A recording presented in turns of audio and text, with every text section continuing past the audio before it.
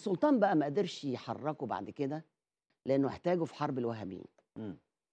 هو بعت جيش من العراق اتهزم بعت جيش من بني عثمان عارفين اتهزم. بقية القصة بقى لغاية 1840 آه. والدرعيه وكل هذه الأشياء. أيوه. لا ده كان 1816 مم. فاضطر ما يمشيش محمد علي. مم.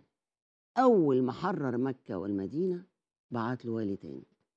بس اكتشفوا مين؟ لازغلي كان هو لسه في الحج. ده زغلي شغال.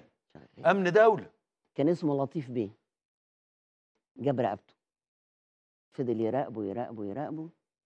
وبعدين قال له ما تيجي تطلع لنا القلعة عايز أتكلم معاك شوية. قال له قلعة؟ هو اللي بيطلع القلعة بينزل يا حبيبي.